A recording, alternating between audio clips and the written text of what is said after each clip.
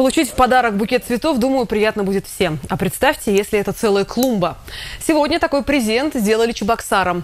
Для этого активистам одного из молодежных движений пришлось повозиться в земле. Наблюдала за процессом наша съемочная группа решили помочь нашему любимому городу в озеленении. И при личной беседе с Леонидом Ильичем Черкесовым мы предложили свою помощь.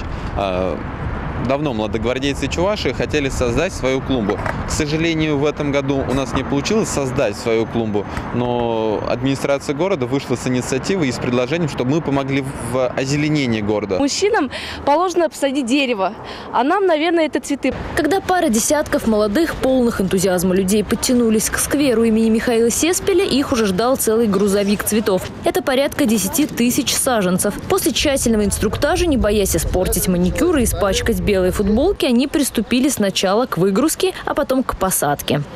Всегда хочется попробовать своими руками сделать такую красоту. Главное правило – нельзя выходить за линию, так как есть определенный рисунок.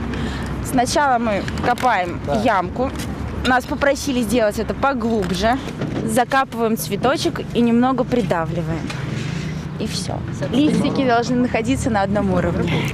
Сначала ряды выходили неровными, у профессиональных озеленителей сдавали нервы. Иногда они пытались вмешиваться в процесс создания красоты. Однако потом дело пошло. Судя по всему, активисты даже вошли во вкус. На лето ребята наметили еще несколько подобных мероприятий.